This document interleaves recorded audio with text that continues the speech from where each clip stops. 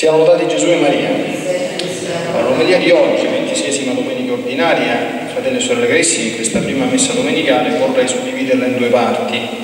Nella prima dare un'occhiata alla parte centrale del Vangelo, quella in cui Gesù spiega in maniera ammirabile il valore importantissimo di un gesto anche minimo di carità cristiana e un riferimento alla seconda lettura che è attinente con questo piccolo insegnamento di Gesù perché al contrario parla del pericolo, un grande pericolo, ecco, del lusso e delle ricchezze. Questo nella prima parte. Poi nella seconda vorrei parlare un po' con voi del mese di ottobre, che è il mese del Rosario, anche leggendo un comunicato che è arrivato ieri dappertutto, tutte le parrocchie d'Italia da parte del Santo Padre, Papa Francesco, che chiede a tutti noi di santificare in un modo del tutto peculiare questo mese del Santo Rosario. Vediamo brevemente insieme queste cose. Gesù nella parte centrale del Vangelo ha detto queste bellissime parole che dobbiamo ricordare. Chiunque vi darà da bere un bicchiere d'acqua nel mio nome perché siete di Cristo, in verità io vi dico, non perderà la sua ricompensa.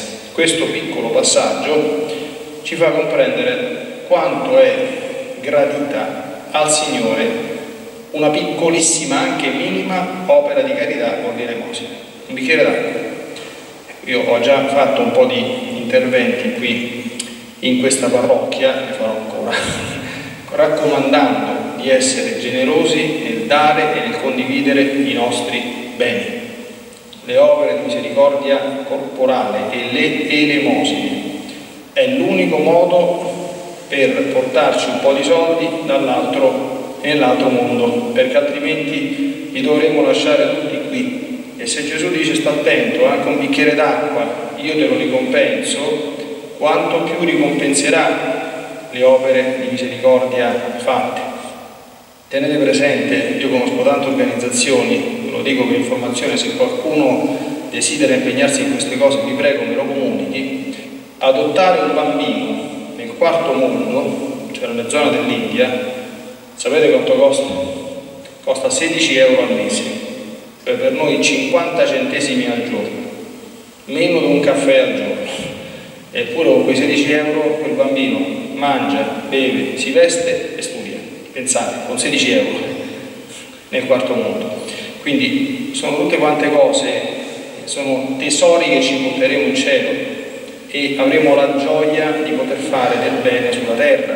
Capite? Si tratta di salvare una vita umana, di asciugare delle lacrime, capite? Una cosa bellissima, una partecipazione piccola all'amore di Dio, che è il contrario purtroppo dell'egoismo che caratterizza i grossi accumuli di ricchezze. Guardate che San Giacomo ha detto delle parole veramente impressionanti. Voi ricchi piangete e gridate per le sciagure che cadranno su di voi. Le vostre ricchezze sono marce, i vostri vestiti mangiati dalle larve, il vostro oro e il vostro argento consumati dalla ruggine, e la ruggine si alzerà ad accusarvi e divorerà le vostre carni come fuoco avete accumulato tesori per gli ultimi giorni. È terrificante. Allora, noi dobbiamo comprendere, capite, ci sono, la ricchezza non è di per sé stesso sinonimo di cattiveria. Ci sono sempre stati nel corso della storia della Chiesa delle persone che avevano molti beni, ma che li usavano anche molto bene. Lazzaro, che era il migliore amico di Gesù, non era un povero, aveva tanti beni, ma con quei tanti beni ha asciugato tante lacrime. Però il principio della ricchezza, come dire, come intesa dal mondo, del Dio soldo, cioè accumulo, accumulo, accumulo solo per me, accumulo, accumulo, e faccio cosa, d'accordo? Che non sanno più neanche come spendersi i soldi. Capite? Questo non è compatibile con uno stile di vita cristiano. Anche perché sapete che nel Vangelo Gesù in un passaggio chiama la ricchezza disonesta, quando dice procuratevi amici con la disonesta ricchezza, perché spesso le grandi fortune è molto difficile che non nascondino qualche piccola o grande ingiustizia. San Giacomo, nella seconda parte della lettura, nomina, vi ricordate il catechismo, uno dei quattro peccati che gridano vendetta al cospetto di Dio. Ve l'hanno fatto bene a voi il catechismo che siete qualche anno più grande di me. Qual è uno dei quattro peccati che gridano vendetta al cospetto di Dio? È defraudare gli operai del giusto salario. Che dice qui San Giacomo? Ecco il salario dei lavoratori che hanno mietuto sulle vostre terre e che voi non avete pagato, grida e le proteste dei meditori sono giunte nelle orecchie del Signore Onnipotente. Sulla terra avete vissuto mezzo piacere e delizie, vi siete ingrassati per il giorno della strage. Attenzione che non pagare gli operai e chi lavora per noi in generale è una cosa grave agli occhi di Dio. Eh?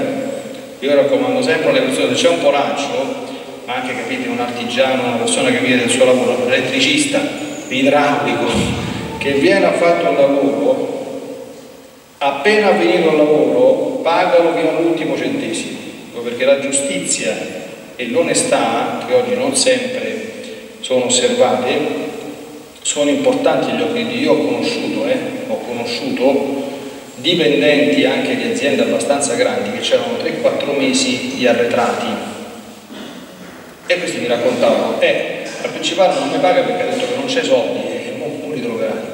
Eh? Non ti paga perché non c'è soldi. Cioè, capite che succede? Il principale fa fare la banca al poveraccio con quello stipendio ci campa caro principale, tu vai in banca, prendi i soldi e fai fare alla banca la banca, ci paghi gli interessi paghi gli operai, capito? Cioè, e non è che poi la domenica al mese per pure la comunione con questi, questi, discorsi così, queste sono cose gravi, queste che non possono essere passate sotto tono e sotto gamba. Bene, adesso passiamo un attimo al mese di ottobre, devo un attimo prendere anche la comunicazione, abbiate un attimo pazienza. Sapete che il mese di ottobre è il mese dedicato al Santo Rosario e guardate, io sono contento di queste belle, non si chiamano coincidenze, si chiamano coincidenze. Voi sapete che, penso, spero che abbiate, siete già informati, quest'anno festeggeremo in maniera un po' più solenne la Madonna delle Vittorie, che è anche, non è anche, principalmente, sapete perché è stata vinta la battaglia di Lepanto? C'è scritto nella locandina che è stata realizzata non perché l'esercito era forte, ma perché San Pio X ha affidato quell'importantissima battaglia all'intercessione del Rosario, ha fatto di Rosario tutti i cristiani e abbiamo vinto. Quindi la festa della Madonna delle Vittorie oggi nella nuova riforma si chiama la festa della Madonna del Rosario, che si festeggia il 7 ottobre. Perché? Perché il Rosario è il segreto per sbancare le grazie da parte del cielo. Perché Dio non rifiuta niente, e nessuna protezione a chi recita con amore il Santo Rosario. Ottobre, sapete che nella Chiesa è proprio perché il 7 ottobre è la festa della Madonna del Rosario, è il mese del Rosario, per cui già di per sé siamo invitati a dire Rosario tutti i giorni, che dovrebbe essere un'abitudine stabile per noi cristiani, ma in questo mese in maniera particolare.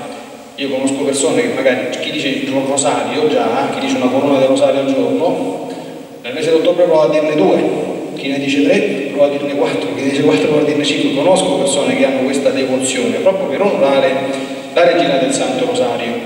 E noi avremo una settimana intera in cui la Madonna sarà in mezzo a noi e tutti i rioni e davanti alla Madonna ricordando anche che questa immagine è miracolosa. Domenica prossima sarà una conferenza importante, ha fatto un miracolo grosso, ce l'abbiamo dentro casa e in un momento storico particolare, cioè in piena rivoluzione francese. Voi sapete che poi sarebbero venuti anche qua a fare danni anche a Sermoneta, eh, i napoleonici. L'hanno fatto danni anche qui dietro, anche qui dietro nella, nel coro della, della, chiesa, hanno mozzato tutte quante le, le guglie dei troni del coro dove c'erano i grifoni, simbolo dei, dei gaetani, eh, hanno fatto guai. La Madonna è scesa per proteggerci. E noi celebreremo ogni sera il Santo Rosario insieme arricchito di quello che adesso vedremo. Poi, eh, io da quando sono arrivato, dopo la messa, vi ho proposto a chi vuole, perché chi non vuole può tranquillamente uscire, perché sono cose facoltative, io sono sempre nemico delle cose obbligatorie e imposte, di pregare un po' la Madonna e la preghiera a San Michele Arcangelo. Bene, questo il Papa, prima vi dico quello che ha raccomandato, ha chiesto a tutti i fedeli di dire rosario tutti i giorni nel mese di ottobre per chiedere alla Madonna la protezione contro gli assalti del demonio, concludendo il rosario con la preghiera a San Michele Arcangelo, voi dovreste già tutti conoscere a memoria, e con un'altra antichissima antifona mariana, Zuttum Presidium, per chiedere l'aiuto di San Michele della Madonna in questo momento delicato che la Chiesa sta vivendo, che penso non sia bisogno, non sia bisogno di commentarlo perché sappiamo tutto, siamo tutti quanti aggiornati vedendo i telegiornali. Vi leggo adesso proprio il comunicato della Santa Sede. Papa Francesco invita a pregare il Santo Rosario durante il mese di ottobre.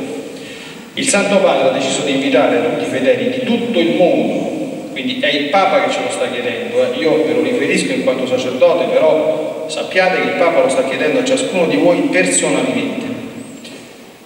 Durante l'intero mese mariano di ottobre, di pregare il Santo Rosario ogni giorno e unirsi così in comunione e in penitenza come popolo di Dio nel chiedere alla Santa Madre di Dio e a San Michele di proteggere la Chiesa dal diavolo Capite? Proteggere la Chiesa dal diavolo, eh? Il diavolo esiste, capite? Non è che non esiste. Che sempre mira a dividerci da Dio e tra di noi, la duplice azione del diavolo, dividere noi da Dio e dividerci gli uni dagli altri.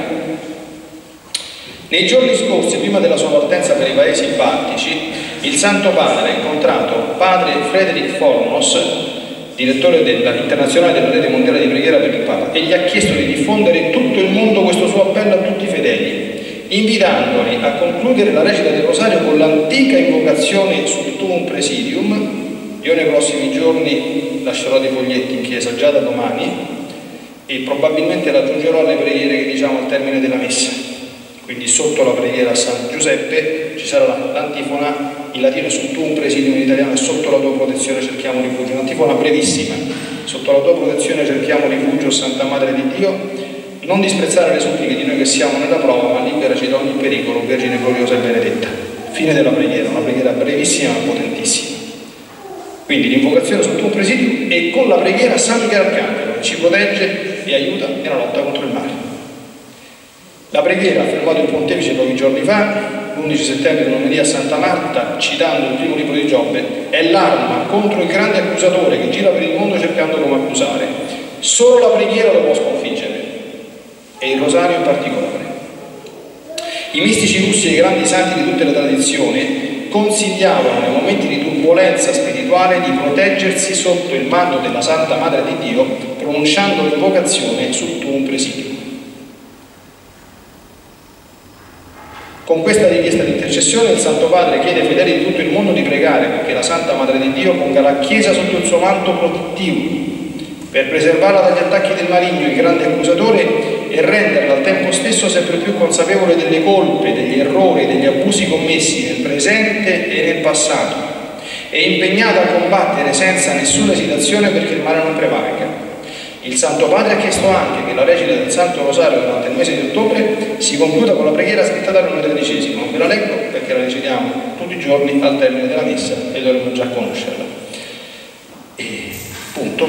Quindi questi, capite quindi, Rosario, invocazione sotto un presidium e preghiera a San Michele. Io penso probabilmente di aggiungere per questo mese alle preghiere dopo la messa, che sono sempre facoltative, la preghiera a San Michele la facciamo già da un sacco di tempo, anche l'invocazione sotto la tua protezione. A me fa sempre tanto piacere vedere queste cose, perché insomma il Papa che chiede di fare a tutti una preghiera che la devozione si, si fa già da tanto tempo e proprio in questo mese e proprio in quest'anno che noi stiamo facendo questa iniziativa particolare, nuova andare a pregare il rosario, lui dice pregate il rosario tutti i giorni e noi potremmo farlo in forma comunitaria nei nostri rioni davanti alla nostra patrona, all'immagine miracolosa della Madonna delle Vittorie.